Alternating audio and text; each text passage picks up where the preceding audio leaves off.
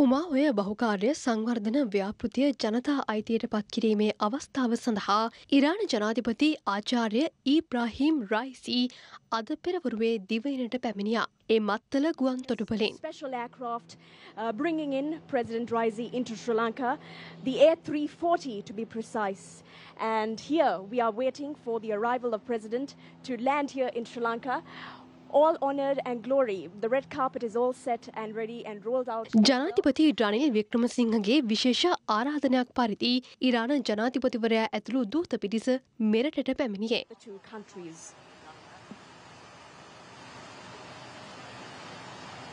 ඉරාණ ජනාධිපතිවරයා ඇතුළු පිරිස පිළිගැනීම සඳහා අග්‍රාමාතය දිනේශ් ගුණවර්ධන ඇතුළු අමුත්තන් රැසක්ද පැමිණ සිටියා. Dr. Ibrahim Raisi, President of the Islamic Republic of Iran today. We thank you for the continued support you have provided to Sri Lanka and for being a good friend and a supportive nation during tough times, not since, further, not since the recent joining us here in our country, our motherland. And we hope relationship will continue and grow from strength to strength. අනබී භවනයේ අවස්ථාවක් අප සංවර්ධිත අරුණලු කරා යන ගමනක යම් සන්ධිස්ථානයක් සනිටුවන් කිරීම උදෙසා ආචාර්ය ඉබ්‍රහීම්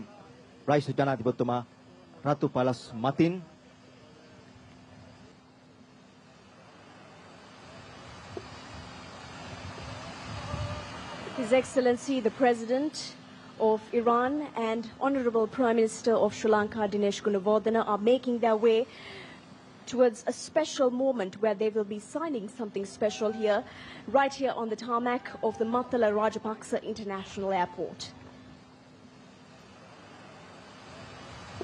අනතුරුව උමා ඔය ජලවිදුලි බලාගාර භූමියට ඉරාණ ජනාධිපතිවරයා ඇතුළු පිරිස පැමිණියා. එහිදී ඔවුන්ව පිළිගත්තේ ජනාධිපති රනිල් වික්‍රමසිංහයි.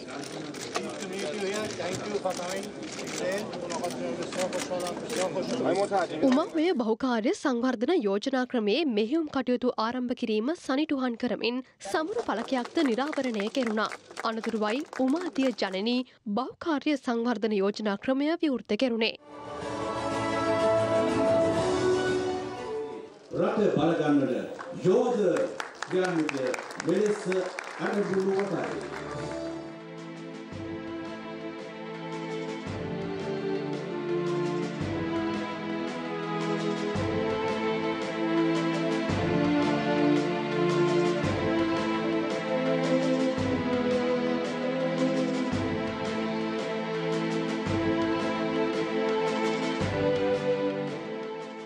ඉරානය රජයට මේ සමාගමට ස්තුතිවන්තෙන් අපි කල්ලා තියෙන්නේ අපේ උඩවල්ලවේ දැන් තියෙන බහුකාර්ය ක්‍රමය ඊළඟට ගෙනල්ලා තියෙනවා කිරිඳිවයට. එහෙනම් හම්බන්තොට දිස්ත්‍රික්ක ඇතුළටම අපි වාරි ක්‍රමවේද ගෙනත් තියෙනවා. අනිත් පැත්තෙන් අයි බලාපොරොත්තු වෙන්නේ හම්බන්තොට දිස්ත්‍රික්කේ අලුත් ආයෝජන කලාප දාලා කර්මාන්ත ආරම්භ කරන්න. එහෙනම් හම්බන්තොටට අලුත් ආර්ථිකයක් අපි ලබලා දීලා තියෙනවා. මේ ව්‍යාපාරය නිසා මේ තාක්ෂණය නිසා අපිට හෙක්ටයා සයදාහක් හොඳට වගා කරන්න පුළුවන්. දැන් උඩවල්වේ කියන්නේ මං හිතන්නේ ලංකාවේ වී නිෂ්පාදනයෙන් වැඩිව වී නිෂ්පාදනය කරන ප්‍රදේශේ දැන් අපි බලාපොරොත්තු වෙනවා ඒ වගේම මේ ප්‍රදේශෙත් ඒක කරන්න පුළුවන් වෙයි කියලා. අපේ බලශක්තිය ඇමතුමාටයි මුදල් අමාත්‍යාංශයට විශාල සහනයක්. තව මෙගාවොට් 120ක් ජල විදුලි බලය ලැබෙනවා. ඒ නිසා මිල වැඩි කරනවද අඩු කරනවද කියන ප්‍රශ්නේ නැහැ. මං හිතන්නේ ඊළඟ මාස කීපේ කිසිම ප්‍රශ්නයක් නැතුව ඒ වැඩ කටයුතු ගෙනියන්න පුළුවන්. දියුණු වෙන රටවල් හැටියට ඉරානයේ යපයි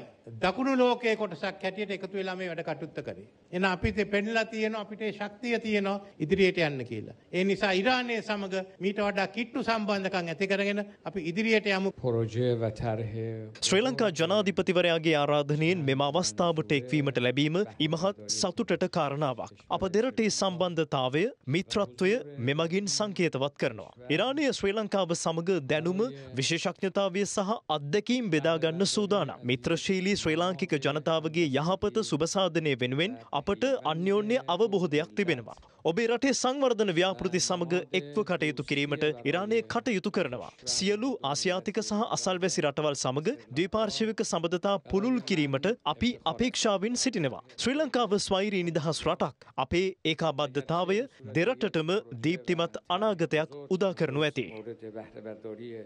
මෝඩ බැහට බැතෝරිය විදුලි උත්පාදනය කරන කනදගොල්ල බලාගාරය පිහිටි ටර්පයින් යන්ත්‍ර දෙකක් ව්‍යාපෘතියේ සුළු සේවිකාවන් දෙදෙනෙකු නමින් නම් කිරීමට ඉරාන සමාගම පියවර ගැනීම මෙහි ඇති විශේෂත්වයක්. එම ව්‍යාපෘති කාලසීමාවේදී සේවකින්ට තේපැන් ආදී සංග්‍රහ කටයුතු කළ දසුනි සහ සුලෝචනා යන සේවිකාවන් දෙදෙනාට කෘතගුණ සැලකීමක් ලෙසයි එය සිදුකර ඇත්තේ.